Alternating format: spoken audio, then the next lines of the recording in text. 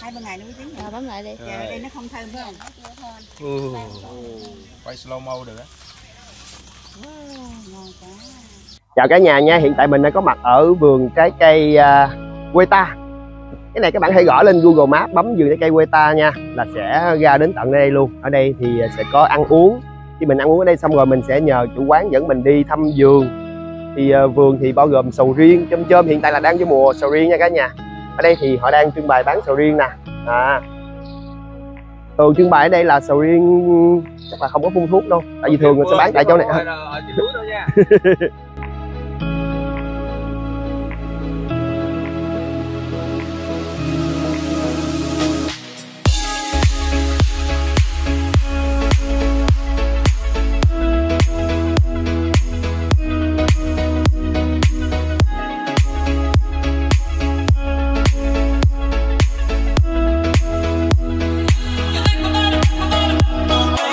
Để giới thiệu cho cả nhà nha, đây là món à, gà vườn luộc nè, mình sẽ ăn chung với cháo.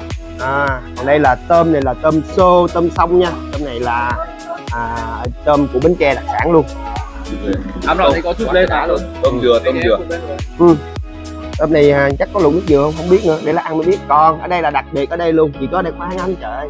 Đây là gỏi ốc đắng nha, bắp chuối. Mình bắp với bắp chuối. Ờ. thì ở đây nó sẽ là bắp chuối thêm nè mọi người. À, chuối thêm.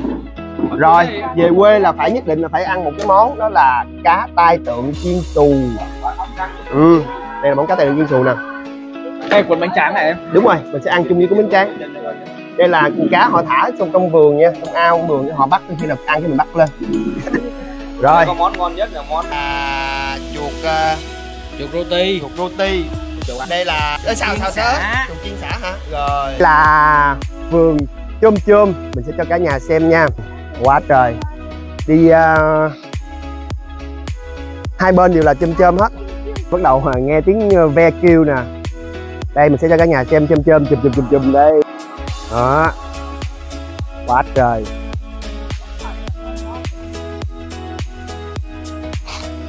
Này. Ừ. Ừ. mọi người nhớ nha. Gõ trên google vườn trái cây quê ta ở. Này là tân phú ha rất là rộng luôn. Cái giá mình trả cho họ là à, 80 nghìn. Là mình ăn no rồi ra. Còn muốn mua đem về thì hiện tại họ báo 35 nghìn một ký giá cũng hơi à, vườn mà hơi hơi cao. Điện đêm về thì chủ vườn sẽ lên hái nha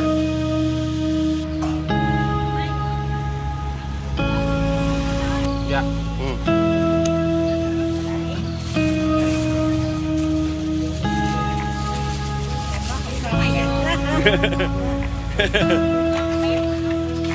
béo, ngọt